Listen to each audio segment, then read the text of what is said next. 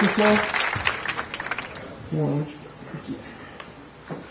Bom, hoje eu vim falar aqui sobre um assunto muito interessante, um assunto que funciona 100% das vezes, que as empresas estão adorando, que é essa novidade de nota escola eletrônica.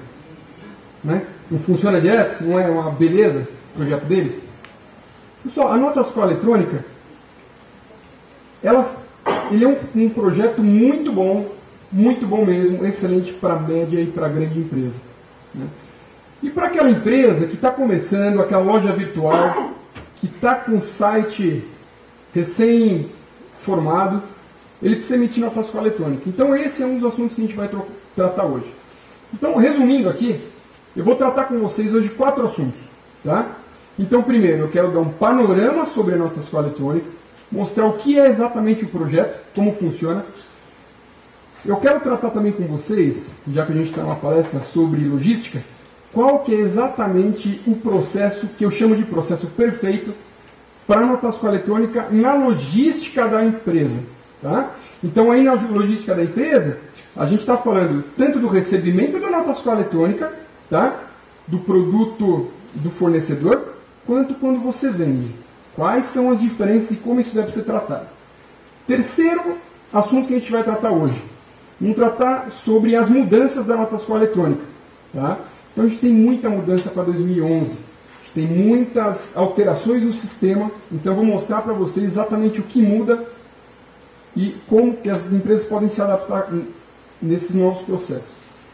E por último, o que eu quero mostrar para vocês também é como uma empresa de uma loja virtual, tá? um site que um site de e-commerce, vai um pequeno site como é que ele pode tratar e trabalhar na notação eletrônica que esse é um dos principais problemas que eu, que eu acredito que hoje as empresas estão enfrentando.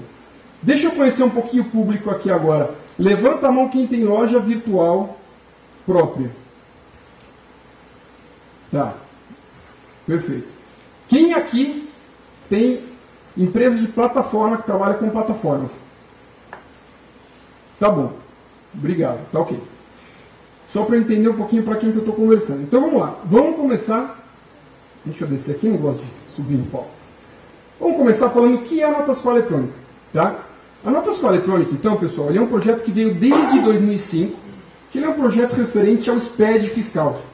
Tá? SPED fiscal, Sistema Público de Escrituração Digital. Então, ele veio desde 2005 e esse projeto é um projeto do nosso companheiro Lula, tá? Que dentro desse projeto a gente tem o quê? Temos nota escola eletrônica, a gente tem o SPED fiscal e contábil, que é o envio do livro fiscal e contábil. Para quem não sabe, tem que enviar eletronicamente agora também. E também tem a parte do conhecimento de transporte eletrônico. Então, a nota fiscal eletrônica, ele é nada mais, nada menos do que a passagem da nota fiscal modelo antigo para a nota fiscal eletrônica. É o envio dos dados eletrônicos. Né? Então, vamos lá. Objetivo da nota fiscal eletrônica.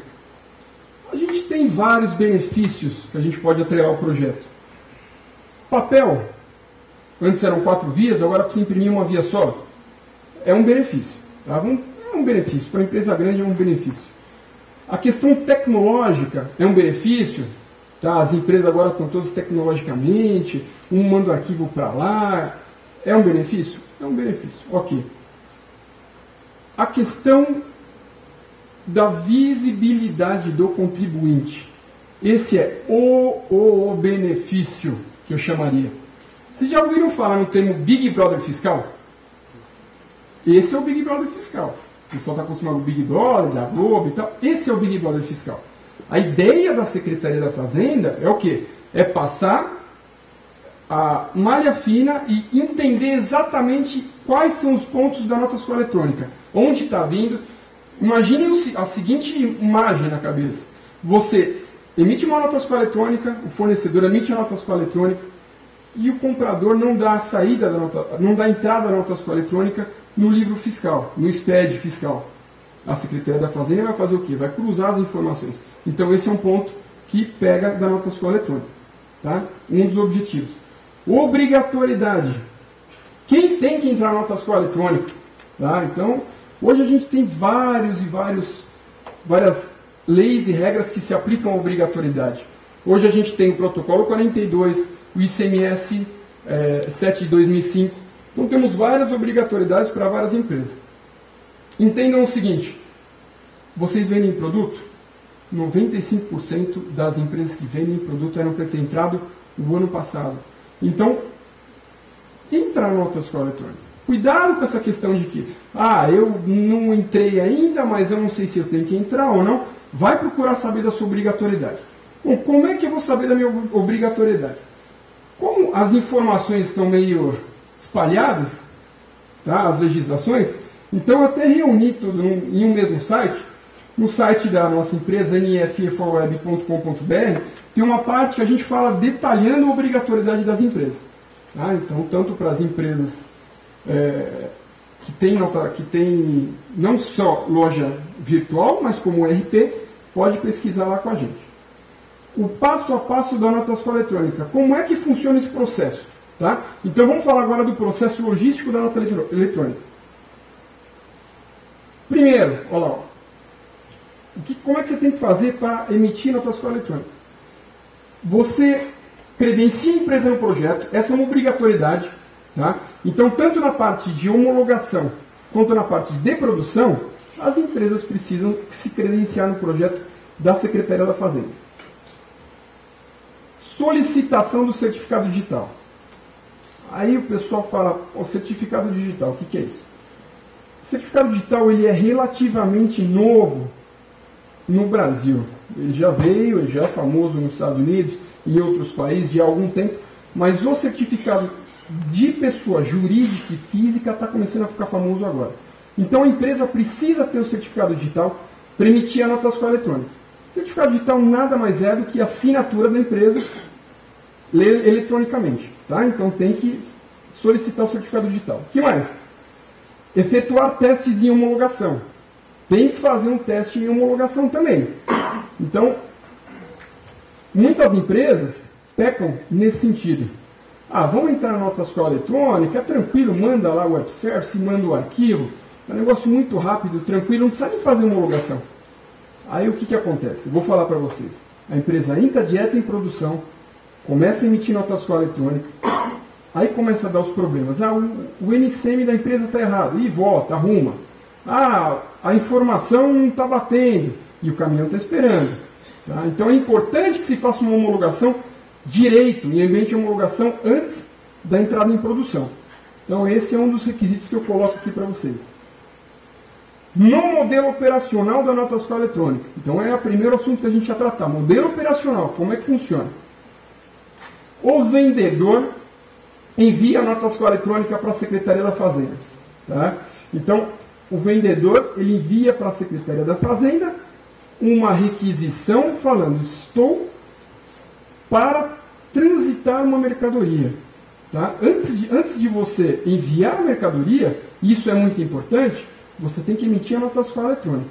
Então você manda a nota fiscal eletrônica para a Secretaria da Fazenda, a Secretaria da Fazenda faz a validação o quê? Validação cadastral. Será que a empresa realmente é, ela pode emitir? Tá? A questão do se o emitir tem que estar autorizado, se a assinatura digital realmente bate com a empresa. Não adianta nada também emitir uma nota fiscal eletrônica para a empresa do Joãozinho, porque eu não tenho o certificado do Joãozinho, eu tenho do Rodrigo. Então, eles verificam todas essas questões. Depois disso, a Secretaria da Fazenda ela vai devolver a autorização de uso para o vendedor, tá? E depois dessa devolução, falando, ok, Rodrigo, você pode agora trafegar a sua mercadoria. Nesse ok, o que, a Secretaria da Fazenda faz? Que poucas pessoas sabem. Eles mandam as informações para todos os órgãos relacionados que são responsáveis por essa nota fiscal eletrônica também. Então vamos colocar aqui uma, algumas situações. Você está fazendo uma nota de exportação. Tá? A nota está saindo pelo Porto de Santos e está indo lá para o Canadá. Ok, então ela está saindo pelo Porto de Santos, emitiu uma nota fiscal eletrônica de exportação. Quem é que vai receber uma das vias da nota fiscal eletrônica eletronicamente num segundo processo? É o Porto de Santos. Isso segue não só para a questão de exportação, como todas as outras operações. Está fazendo uma operação interestadual, eu estou vendendo um produto para o Rio de Janeiro, estou vendendo um produto para outro estado, a nota fiscal também vai para outro estado. Tá? Então, essa questão, isso aí ocorre também. Legal, autorizado o uso da nota fiscal eletrônica na operação. O que, que acompanha a mercadoria? Então, a gente está falando aqui do processo de envio de uma nota fiscal eletrônica, de um produto. Sempre, sempre, sempre você tem que enviar o produto junto com o DANF, que é o espelho da nota fiscal eletrônica. Então, o que acontece se você não tiver esse DANF? O fiscal vai te parar, ele vai validar o DANF. Se o DANF não estiver válido, é a mesma coisa que você não tem uma nota fiscal. Entenda da seguinte maneira: se você não tem o DANF, se você não tem esse papel, não autorizou uma nota fiscal eletrônica, é a mesma coisa que você não tem uma nota fiscal. Então, esse é um ponto importante que que o pessoal precisa saber que tem que autorizar a nota. Tem toda a questão de contingência também, mas vamos focar na autorização. O contribuinte disponibilizará o download do arquivo digital da nota eletrônica. Aí é um ponto que é um ponto problemático. Eu quero que levante a mão aqui. Quem aqui já não teve problema de pedir o arquivo, ficar pedindo o arquivo XML para o fornecedor? alguns envergonhados, o cara não me manda. Pessoal, esse é um dos principais problemas que a gente tem hoje. Tá? Sabe por quê? Pelo seguinte, a nota fiscal eletrônica hoje, a validade jurídica da nota não está no papel. Não está no papel. Não adianta você ter só o DANF, que aquilo não vai valer de nada para você. Se você é um emissor de nota fiscal eletrônica, você precisa ter o quê? Você precisa ter o arquivo. E poucas pessoas sabem disso. Tá? Então, se você está recebendo uma mercadoria de um fornecedor, seja chato. Seja chato. Não deixe a mercadoria entrar sem que tenha o arquivo. Tá? Vou mostrar esse processo para vocês daqui a pouco como é que funciona. Após a validação, aí começa todo o cruzamento de informações. Cruza daqui, cruza dali, aí enviou, tal, tal, enviou na tua eletrônica, autorizou, o cara ali deu a saída no posto fiscal, no, no livro fiscal, deu. Então todas as informações depois são cruzadas. Tá? A fiscalização, claro. Legal. Agora vamos falar sobre o segundo assunto aqui que eu citei para vocês, que é o fluxo, que eu chamo de fluxo perfeito, para um, uma verificação de uma nota fiscal eletrônica quando o, a, o produto está chegando do fornecedor. Olha que interessante. O caminhão ele chega com DANF impresso. Tá? Chegou lá, chegou os produtos. O comprador, vocês vão receber, a empresa de vocês vai receber o arquivo XML da DANF. Chegou o arquivo, tá ok. Aí é um ponto que é o seguinte: o que a maioria das empresas estão fazendo? O que está errado? O pessoal pega o DANF, o papel que está chegando junto com a mercadoria, faz uma validação ali, faz um cara crachá nos produtos. Ah, tá ok o produto? Tá ok? Tá bom. Ah, mas na verdade você tem que verificar se o DANF está autorizado na Secretaria da Fazenda, não é? É, tá ok. Então aí você pega, o pessoal pega o protocolo, vai na Secretaria da Fazenda, não é isso? Vai na Secretaria da Fazenda, autoriza. A nota está autorizada? Está autorizada, legal. Então entra o produto. Só isso? É só isso que a maioria das empresas está fazendo. Tá certo? Não, não está certo, não é só isso. Você tem mais processos que vocês precisam fazer. Tá? Por quê? Novamente, frisando, o, a validade da nota fiscal eletrônica hoje está no arquivo e não está no papel. Então, essa é uma validação que vocês precisam fazer. Olha lá, continuando. Então, o caminhão chega a DANF, o comprador recebe o arquivo XML da NFE, precisa ter um sistema que automatiza esse processo. Não adianta. Se você não tem um sistema que automatize essa entrada de arquivo, você vai ficar perdido. Você não vai ter quem, quem confira esse arquivo direto para você. Então o sistema ele tem que verificar o XML recebido na Secretaria da Fazenda de origem. Aí eu falo, aí vocês perguntam, por que de origem e não de destino? Estou recebendo uma nota do Rio de Janeiro. Por que, que eu preciso ir no Rio de Janeiro para conferir e não em São Paulo? Ou não no, no, na Secretaria da Fazenda, no Nacional, no site nacional? que acontece é o seguinte, eu, a nossa empresa, a gente está desde 2006 no projeto, só trabalhando com nota fiscal eletrônica, e a gente vai, a gente está verificando o andamento e a evolução da Secretaria da Fazenda. O que ocorre muito hoje é o seguinte: estou em São Paulo, autorizo uma nota fiscal eletrônica em São Paulo, só que para que eles enviem para o Secretaria da Fazenda Nacional, para o site nacional, esse processo pode demorar entre 5 minutos, 10 minutos, 15 minutos, ou não demorar, não enviar. Eu já vi muitos processos desse tipo. Tá? E já vi muitos problemas em postos fiscais também de fronteiras acontecer isso. Então olha o que aconteceu. Eu vou citar um caso aqui que aconteceu. Um cliente nosso emitiu uma nota fiscal eletrônica, autorizou, saiu o caminhão com o DANF, aí saiu o caminhão com o DANF, parou no posto fiscal. O posto fiscal ele foi validar a nota fiscal eletrônica, sabe o que ele falou? Falou assim, olha, o senhor, por favor, me preste seu RG, o senhor está preso, a sua mercadoria vai ser apreendida porque a sua nota fiscal eletrônica não foi autorizada. Aí vocês imaginam, né?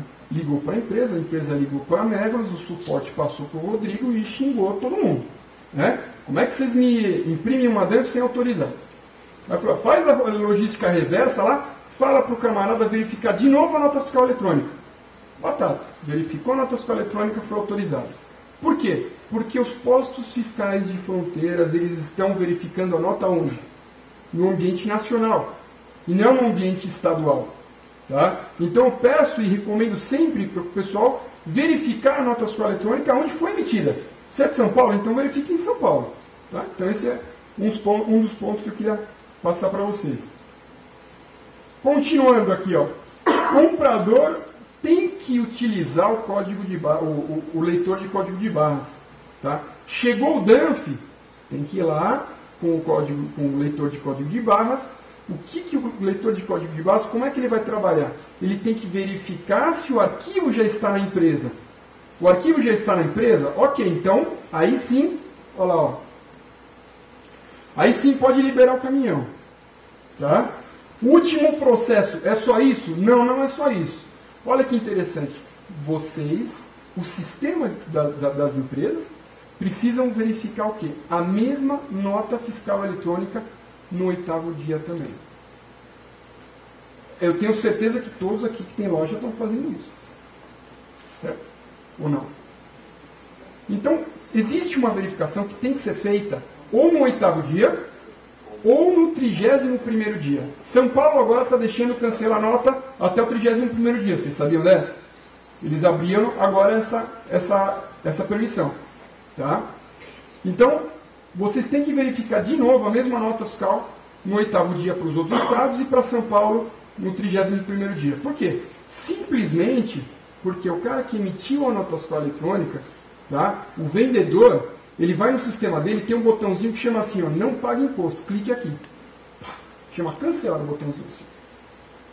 Então se ele cancela a nota fiscal eletrônica, vocês acham que vocês recebem o e-mail? As empresas não recebem o e-mail falando que cancelou a nota. E aí qual que é o problema que vai acontecer? O problema é que as empresas, depois vai sair o livro fiscal ali, vai mandar o livro fiscal, vai falar que a nota entrou, tá? Ah, vou ter crédito de ICMS, tá? Só que o crédito de ICMS vai ser dosado depois. Vocês vão poder tomar multa. Tá? Então isso é muito importante para vocês saberem que existe e tem que ter uma verificação da nota de entrada do fornecedor no oitavo dia. Resumindo aqui para vocês, ó, o caminhão chega com DANF impresso, o comprador recebe o arquivo XML da nota, sistema ele tem que verificar tá, a nota fiscal, comprador utilizando o leitor, ele tem que verificar se o arquivo já chegou e se já está validado. E o arquivo até o oitavo dia, o sistema até o oitavo dia, o 31 tem que fazer a validação. Tá? Novamente, para saber se a nota ainda está autorizada. Depois disso, não tem como fazer o cancelamento. Alguns pontos a serem observados. Tá? Nota fiscal recebida no modelo antigo, A1. Olha que ponto interessante. Se você recebe uma nota do seu fornecedor em modelo antigo, a gente ainda tem fornecedores, pessoal que ainda está para entrar na nota fiscal eletrônica. Vamos supor que você recebe uma nota em modelo antigo, não é eletrônico. Sabe o problema que vocês podem ter? Se esse camarada tivesse, se, se ele fosse obrigado a emitir nota fiscal eletrônica desde o ano passado, a empresa de vocês está recebendo um produto desacompanhado de documento fiscal. Olha que interessante. Aí vou deixar um pouquinho mais legal para vocês. Se vem um fiscal na empresa deles ou na de vocês, vocês já pagaram o produto, certo? Ok. Vocês pagam ainda mais 35% de multa em cima do valor bruto da emissão da nota. Tá? Ah, Rodrigo, então quer dizer que você agora fiscal? Parabéns, agora vocês são nomeados fiscais da Secretaria da Fazenda. Tá? Então existe essa atenção que tem que ter. Ok? A nota recebida em formato contingência, DPEC ou FSD. A gente tem algumas contingências que, se não conseguir autorizar a nota fiscal eletrônica, vamos citar aqui o DPEC e FSDA, tá? que são maneiras de contingência para emitir uma nota. Se por acaso você recebe uma nota dessa, em formato contingência, o que, que acontece? Você tem que verificar essa nota no sétimo dia também. Por quê? Porque simplesmente ela não é uma nota autorizada. A nota não está autorizada ainda. Ela é uma nota, entende-se que uma nota temporária. Tá? Então, tem que verificar no sétimo dia também. No DANF, o arquivo XML, caso você seja emissor de notas com eletrônica. Reforçando, sempre gosto de reforçar essa parte que é a mais importante. Se você é emissor de notas com eletrônica, arquivo, você tem que ter o arquivo, você tem que validar o arquivo do seu fornecedor. Tá? Então, isso é importante. Eu venho para falar aqui para vocês do bug fiscal do milênio. Bum! O que é o bug fiscal do milênio?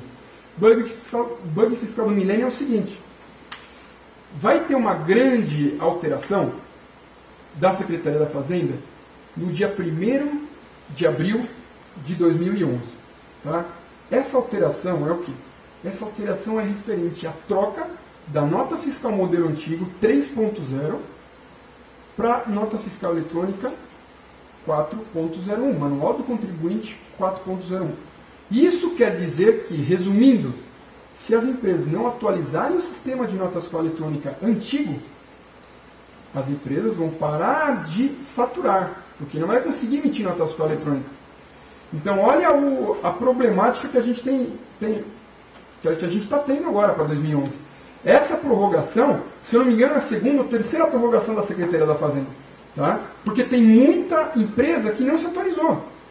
Aí saiu uma, uma portaria agora, CAT, falando o seguinte: se por acaso as empresas ainda estão no sistema antigo e não se atualizarem, 1 de abril as empresas vão parar.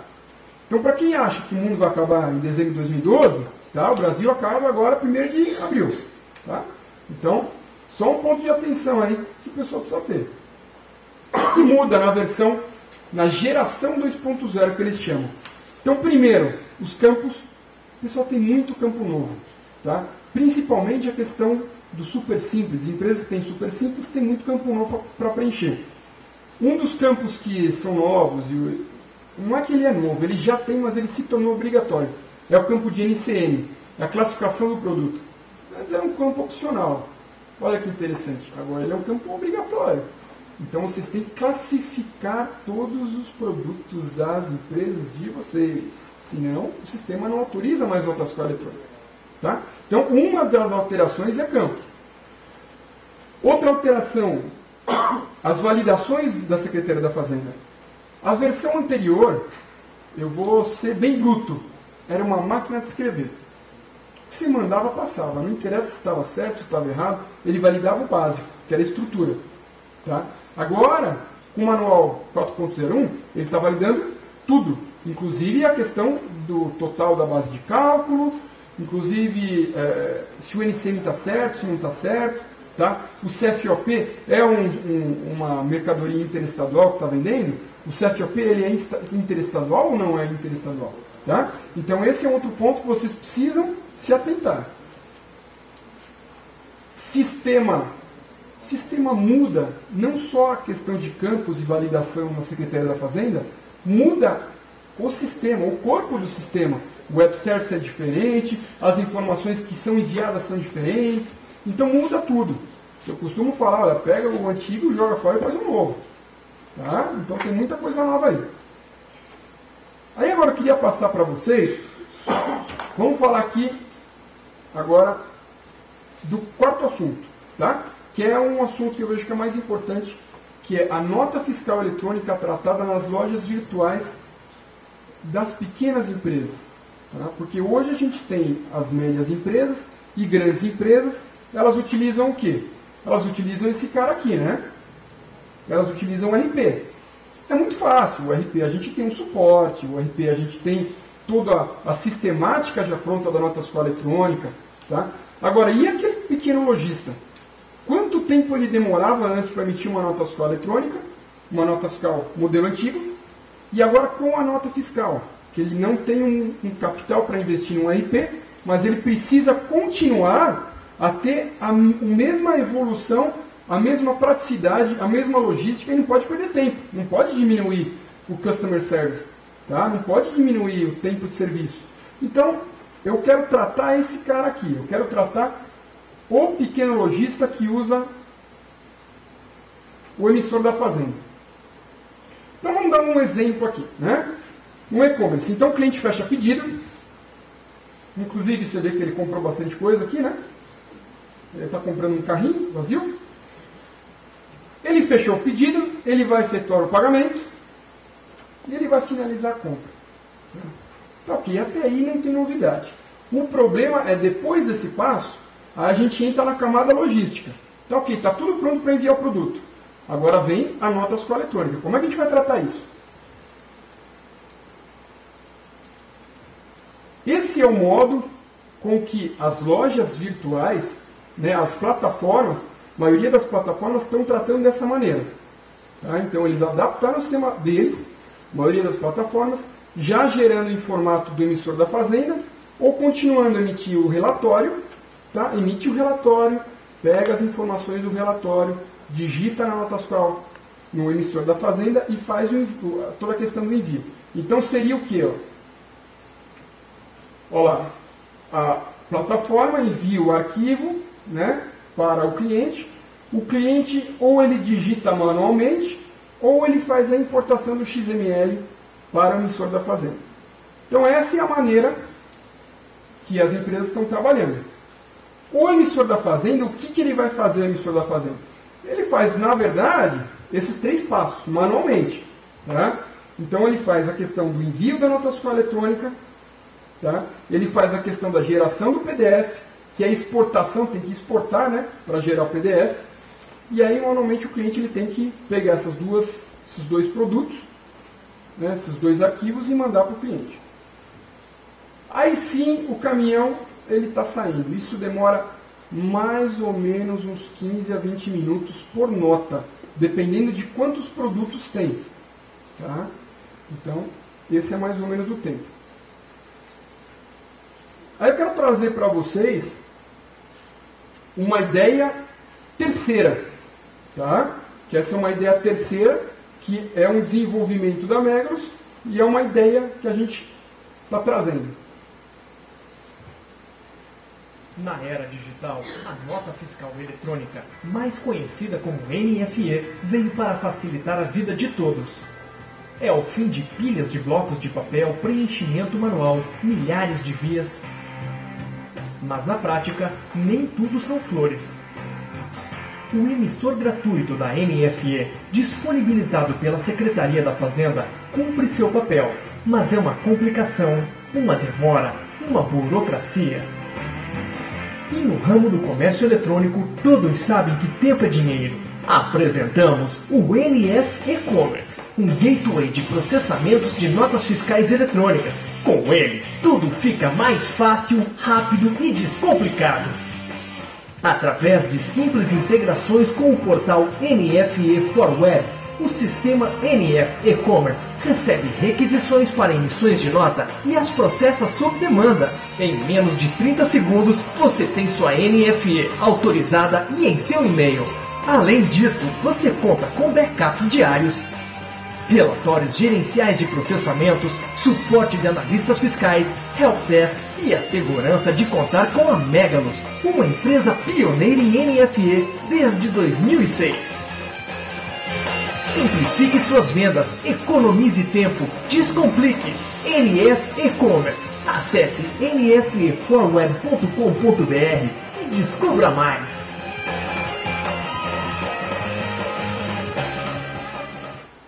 Bacana. Então essa é uma terceira solução. Tá? Essa terceira solução trabalha da seguinte maneira. Tem toda a parte, ao invés do envio do, para o RP, né? então a gente, não que a gente cortaria o RP. O RP, pessoal, não estou querendo tirar o RP. O RP ele é muito importante. Tá? Na questão de compras, na questão logística, ele é sim necessário. Mas a ideia é vir e trabalhar o pequeno logista, logista e as plataformas que, ao invés de enviar o arquivo, existe essa necessidade de fazer algo mais automatizado. Então, essa é a ideia que a gente está vindo trazer. Tá? A ideia é praticamente a mesma do emissor, só que é automatizado. Tá? Então, tem a questão do envio da nota fiscal eletrônica, tem a questão do PDF e do e-mail, só que é tudo automatizado. E tem um outro processo, que é um processo a mais, um processo novo que a gente colocou agora, né? É, que é, seria o envio do SMS direto para o cliente também. Tá? Então é, um, é uma perninha mais que a gente está colocando aí. E aí solta o caminhão em 30 segundos e não mais 10 minutos, 15 minutos. Tá? Esse aqui é um case de uma empresa nossa, uma empresa, um cliente nosso, tá? Então para quem para quem é do e-commerce aí, a, o pessoal conhece, né? A empresa ama muito, está trabalhando conosco. Então o case, essa, a ideia, né, a diferença de processo deles, né, então, reduziu bastante. Então eles demoravam mais ou menos sete minutos para emitir uma nota. Só que esse processo que eles tinham antes, ele era um processo referente à nota modelo A1, uma nota manual.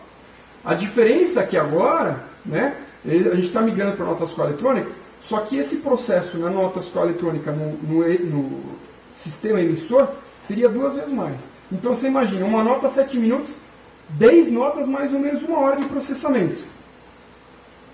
E aí com isso demorou, reduziu 10 notas para mais ou menos 4 minutos de processamento e a saída do caminhão. Tá?